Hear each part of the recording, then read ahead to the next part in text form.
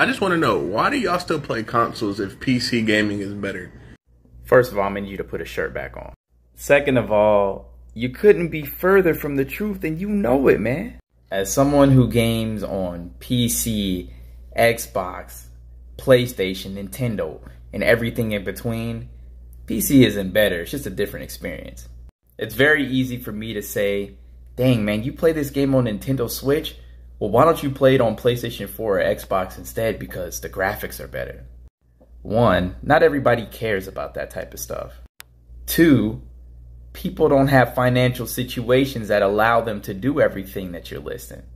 I know in one of your other videos you responded by saying, well, I got a PC that's pre-built and it really wasn't that expensive.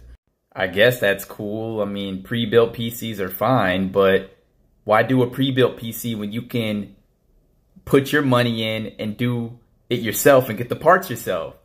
You're making this too easy. Not only that, the barrier to entry is a lot different for PC.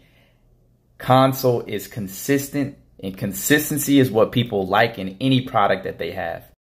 When I get on my Xbox, I know that if I send my friend a party invite, I just hit the X button and it brings them in the party.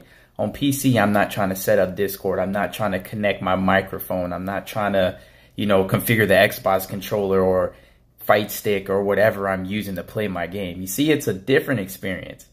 There's a lot of casual gamers who just want to hop on the game and play it. It's really that simple. They just want to play it. They want to put the CD in or digitally download the game, hop in there, have a good time with their friends, maybe after a long day of work and get off. It's really that simple, man. I think you know the answer. You're just trying to rage bait with this video, but I'm happy out here. Have a good one, brother. See you on the flip side.